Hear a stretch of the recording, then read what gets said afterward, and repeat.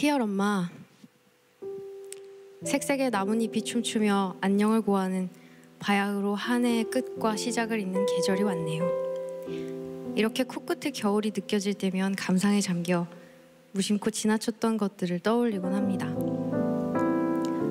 우스갯소리로 포옹할 때 느낌이 우리 엄마 같다고 했었잖아요.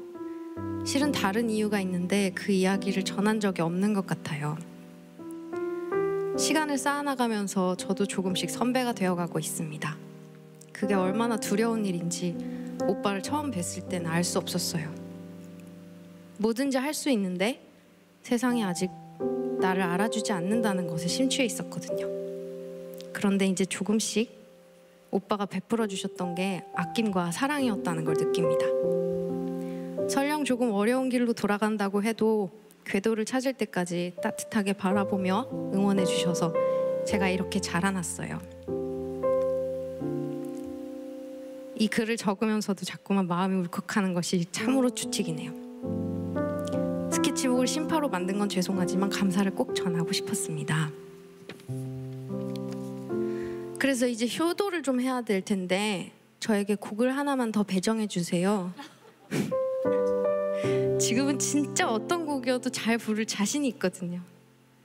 사진을 남기듯이 오빠와 한 커트 남길 수 있다면 정말 좋겠어요.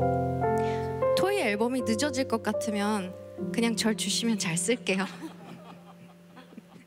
정말 감사합니다, 오빠. 언제나 항상 오래오래 건강하시고 앞으로도 열심히 뒤따라갈게요. 존경을 담아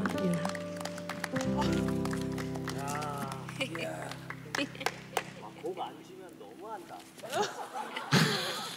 이건 이건 줘야지. 이건 3개월 내에 줘야 돼. 아 잠깐만. 아 지금 감정 지금 한껏 빠져 있는데 곡안준거 너무하다. 무슨 무슨 소리입니까 타블로 씨. 아, 네. 아 근데 사실 바로 옆에서 영상 편지를 받으니까 기분이 또 되게 묘하네 요. 왜냐면 진짜 어린 시절에 봤었거든요. 고등학생 시절에 우리 그때 고등학생이었죠. 그때. 네, 맞아요. 그때 봐서 그때 같이 작업하고 그랬는데 벌써 시간이 이렇게 오랜 시간이 지나서 이제 효도를 또 받게 되네요. 저한테 엄마라 부르거든요. 엄마 같다 그래가지고 네, 네, 이렇게 받게 돼요.